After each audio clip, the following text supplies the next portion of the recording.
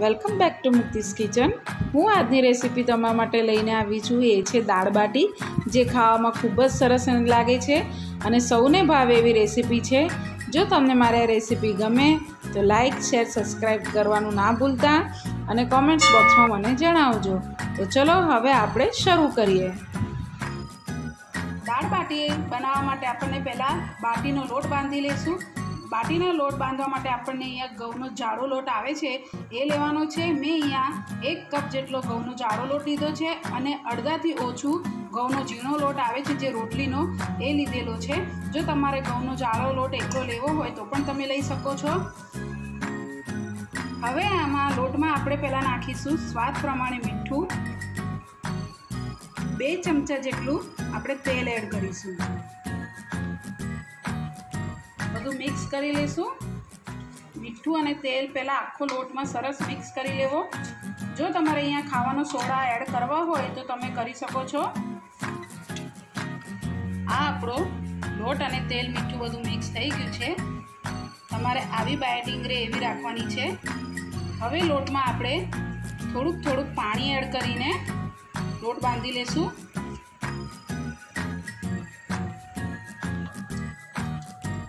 આપણો અહીંયા બાટીનો લોટ બંધાઈ ગયો છે. આપણે રોટલી કરતાં થોડોક હાર્ડ રાખવાનો છે અને ભાખરી કરતાં થોડોક સોફ્ટ રાખવાનો છે. એવો આ બાટીનો લોટ બાંધવાનો રહેશે. હવે આપણે આમાં થોડું તેલ એડ કરીશું. એક ચમચી જેવું હાથમાં લેવાનું. બહુ નહીં. થોડુંક એડ કરીને મસળી લેશું. અહીંયા આપણો આ લોટ બંધાઈ ગયો છે. હવે આ લોટને આપણે પાંચથી સાત મિનિટ માટે ઢાંકીને થોડો રેસ્ટ આપી દઈશું. હવે આપણી અહીંયા પાંચથી સાત મિનિટ થઈ ગઈ છે. જોઈ લઈએ. હવે આપણે તમને જે સાઈઝની બાટી બનાવી હોય એ પ્રમાણે આપણે ગુલ્લા બનાવી લઈશું આવી રીતે આપણે અને બોલ્સ વાળી દઈશું. ક્રેક પડવી ના જોઈએ. આવી રીતે આપણે બધા જ વાળી દઈશું. અહીંયા આપણી આ બધી બાટી ગોળ વાળીને રેડી થઈ ગઈ છે. હવે આને આપણે બાટીને, બાટીના કુકરમાં આપણે શેકી લઈએ. મેં આ ગેસ પર બાટીનું કુકર મૂકી દીધેલું છે અને આને આપણે પાંચ મિનિટ માટે પહેલાં ઢાંકીને પ્રી હીટ કરી લેવાનું છે.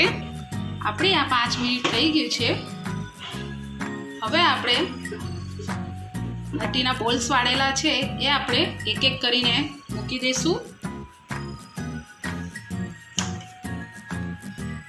મેં અહીંયા બાટીના ગુલ્લાને સરસ રીતે મૂકી દીધેલા છે અને હવે આને આપણે ઢાંકીને મીડિયમ ફ્લેમ પર આપણે દસ મિનિટ માટે શેકવા દઈશું વચ્ચે વચ્ચે ફરાવતા રહેવું અને આપણી અહીંયા ત્રણ મિનિટ જેવું થયું છે.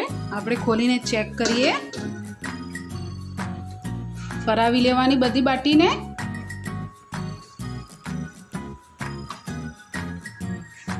ફરાવી લીધા પછી આપણે ફરીથી ઢાંકી દઈશું. શેકવા દઈશું. આવી રીતે તમારે બેથી ત્રણ મિનિટ થાય અને ચેક કરતું રહેવું જેથી બાટી બળી ન જાય. હવે આપણે ચેક કરી લઈએ. સાતથી આઠ મિનિટ થઈ ગઈ છે આપણને. બાટી આપણી થવા આવી છે.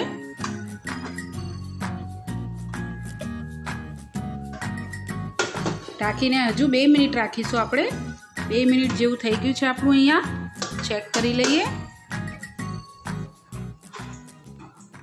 થઈ ગઈ છે બાટી. જો તમને ગરમ લાગે તો તમે ચીપિયાથી કરજો. ગેસની ફ્લેમ બંધ કરી દઈશું આપણે. અને આ બધી બાટીને આપણે એક પ્લેટમાં કાઢી લઈએ. મેં અહીંયા બધી બાટીને આ પ્લેટમાં લઈ લીધી છે. હવે આપણે આ બાટીને એક એક કરીને ઘીમાં બોળવાની છે. અને આવી રીતે આખી બાટીને ઘીમાં મિક્સ કરીને વધારાનું ઘી કાઢી દેવું. એક બાઉલમાં આપણે લઈ લઈશું. આવી રીતે આપણે બધી બાટીને કરી લેવાની છે. આપણી અહીંયા બધી બાટી ઘીમાં બોળીને રેડી થઈ ગઈ છે. જો તમારે ઘીમાં ના બોળવી હોય તો તમે સ્કીપ બી કરી શકો છો. તો હવે આપણે દાળ બાટીની દાળ બનાવી લઈએ. તો સૌથી પહેલાં આપણે લઈશું. અહીંયા મેં એક કપ જેવી અડદની દાળ લીધી હતી. એને મેં ત્રણથી ચાર સીટી કુકરમાં વગાડી દીધેલી છે અને આને હવે એક બાઉલમાં કાઢીને આવી રીતે એક રસ જેવી કરી દેવાની છે. તો હવે આપણે દાળ બનાવવાનું શરૂ કરીએ. મેં અહીંયા ગેસ ચાલુ કરીને પેન મૂકી દીધેલું છે. એમાં આપણે બે ચમચી જેટલું તેલ એડ કરીશું. અને એક ચમચી જેટલું આપણે ઘી એડ કરીશું.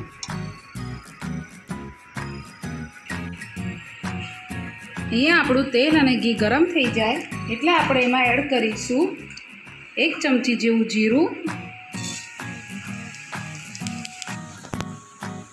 જીરું અહીંયા તતડી જાય એટલે આપણે આમાં એડ કરીશું અડધી ચમચી જેવું લસણ એડ કરીશું. લસણ તતડી જાય પછી આપણે આદુ મરચાંની પેસ્ટ છે, એ એક ચમચી જેવું આપણું નાખીશું. હલાવી લઈશું. લસણ અને મરચાં સરસ થઈ જાય. પછી આપણે અડધી ચમચીથી ઓછું હિંગ ઉમેરી લઈશું. હલાવી લઈશું. હવે આપણે અહીંયા મેં કાંદા લીધેલા છે, એને ઝીણા ઝીણા સમારી લીધેલા છે. એને નાખીશું. હલાવી લઈશું. કાંદા આપણા સકળાઈ ગયા છે. જો તમે કાંદા ને લસણ ના ખાતા હોય તો સ્કીપ કરી શકો છો. હવે હું અહીંયા મેં એક મીડિયમ સાઇઝનું ટામેટું લીધું છે, જે ઝીણા સમારી લીધેલા છે. એને એડ કરી લઈશું હવે. મિક્સ કરી લઈશું. ટમેટાં એડ કર્યા પછી આપણે એ ટમેટાં સોફ્ટ થઈ જાય જલ્દીથી, એટલે આપણે થોડુંક મીઠું એડ કરીશું. હલાવી લઈશું. ટમેટાં મિક્સ થઈ જાય પછી આને આપણે ઢાંકીને એક મિનિટ જેવું ટામેટાને પહેલાં ચડાવી લઈશું. હવે આપણી અહીંયા એક મિનિટ જેવું થઈ ગયું છે. ખોલીને જોઈ લઈએ. ટમેટાં આપણા સરસ સોફ્ટ થઈ ગયા છે. તમે જોઈ શકો છો. હવે આપણે આમાં એડ કરીશું અડધી ચમચી જેટલું હળદર. એકથી દોઢ ચમચી જેટલું ધાણા જીરું.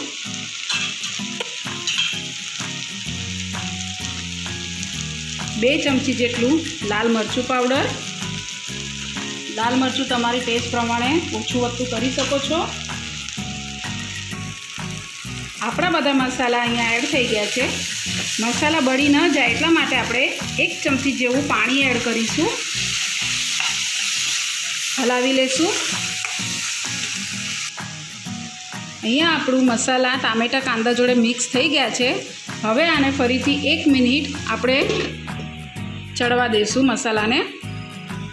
આપણી અહીંયા એક મિનિટ થઈ ગઈ છે. ખોલીને ચેક કરી લઈએ. તમે જોઈ શકો છો, મસાલામાંથી આપણું તેલ છૂટું પડી ગયું છે. હલાવી લઈશું હવે આપણે આમાં જે આપણે અડદની દાળ છે તેને એડ કરીશું. દાળ એડ કર્યા પછી સરસ રીતે હલાવી લેવાનું. હું અહીંયા જરૂર પ્રમાણે ગરમ પાણી એડ કરું છું. તમારે કેવી રાખવી છે દાળની કન્સિસ્ટન્સી એ તમે તમારા પ્રમાણે કરી શકો છો. જો તમને પતલી જોઈએ તો પતલી અને ગાળી જોઈએ તો ગાળી. એ પ્રમાણે પાણી નાખવું.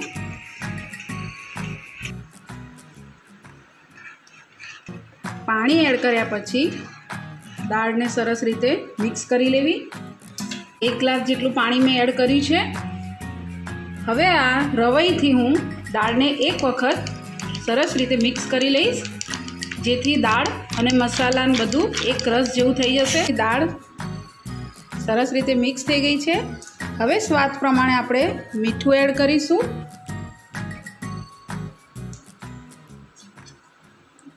હલાવી લેશું.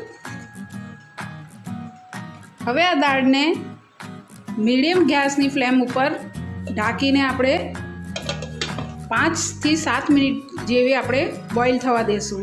બે મિનિટ જેવું થાય એટલે આપણે ખોલીને એકવાર હલાવી લઈશું વચ્ચે વચ્ચે હલાવતું રહેવું, કારણ કે દાળતની દાળ છે, ચોટે નહીં પેનમાં. એનું ધ્યાન રાખવું.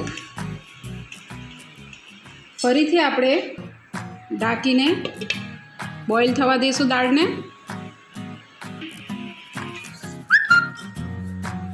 આપણે અહીંયા પાંચથી સાત મિનિટ થઈ ગઈ છે. ખોલીને જોઈ લઈએ. તમે જોઈ શકો છો આજુબાજુ તેલ છૂટું થઈ ગયું છે. પ્રોપરલી હલાવી લેશું.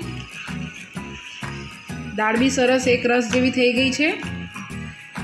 હવે આપણે એમાં એડ કરીશું અડધી ચમચી જેટલો ગરમ મસાલો.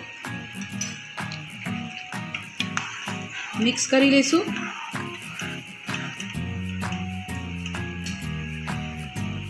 કોથમીર એડ કરીશું.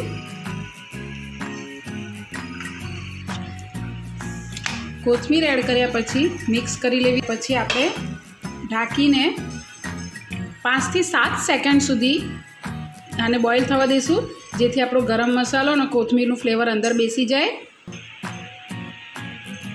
ખોલીને ચેક કરી લઈએ આપણે. આપણી આ દાળ મસ્ત થઈ ગઈ છે. સરસ સુગંધ આવી રહી છે. હવે આ દાળની ઉપર આપણે એક તડકો કરી લઈશું આપણે આ નાનું પેન છે એને ગેસ પર મૂકી દીધેલી છે અને એમાં મેં એક ચમચી જેટલું આપણે તેલ એડ કરી દીધેલું છે. થોડુંક જ ગરમ થવા દેવાનું છે તેલને આપણે. આપણું અહીંયા તેલ થોડું ગરમ થઈ ગયું છે. હવે એની અંદર આપણે એક ચમચી જેટલું લાલ મરચું એડ કરીશું અને આપણે આને હલાવીને મરચું બળી ન જાય એ પહેલાં આપણે દાળમાં એડ કરી દઈશું. દાળમાં એડ કરી દીધું છે આપણે આમાં આને એક્સ્ટ્રા તડકો કહેવાય છે. જો તમારે ના કરવું હોય તો સ્કીપ કરી શકો છો. ઢાંકીને આપણે પાંચથી સાત સેકન્ડ સુધી આને થવા દેશું. આપણે ખોલીને ચેક કરી લઈએ. આપણી અહીંયા આ દાળ ફાઇનલી થઈ ગઈ છે મિક્સ હવે આપણે ગેસની ફ્લેમ બંધ કરી દઈશું. હવે આપણે દાળ બાટીના જોડે ખાવાથી આપણે ચટણી બનાવી લઈએ. ચટણી બનાવવા માટે મેં ગેસ ચાલુ કરીને પેન મૂકી દીધું છે અને બે મોટા ત્રણ ચમચા જેટલું આપણે તેલ એડ કરીશું. તેલ ગરમ થાય એટલે આપણે પહેલાં એડ કરીશું લસણ. મેં અહીંયા બે ચમચી જેટલું લસણ લીધેલું છે. એને અધકચું વાટી લેવું. લસણ ચડી જાય. પછી આપણે એડ કરીશું એક ચમચી જેટલા કાંદા. મિક્સ કરી લેવું કાંદાને. કાંદા એડ કર્યા પછી આપણે એડ કરીશું આદુ મરચાંની પેસ્ટ. અડધી ચમચી જેવી છે, હલાવી લઈશું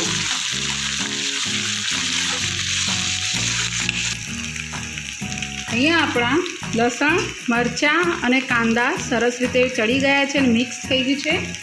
હવે આપણે એડ કરીશું આમાં સ્વાદ પ્રમાણે મીઠું. અને બેથી ત્રણ ચમચી જેટલી આપણે લાલ મરચું એડ કરીશું. તમારા ટેસ્ટ પ્રમાણે ઓછું હતું તમે કરી શકો છો. મિક્સ કરી લેવું. મરચું એડ કર્યા પછી આપણે ઢાંકીને અડધી મિનિટ સુધી આને મસાલાને ચડાવી લઈશું અડધી મિનિટ પછી આપણે ચેક કરી લઈએ. તમે જોઈ શકો છો, તેલ છૂટું પડી ગયું છે. હલાવી લઈશું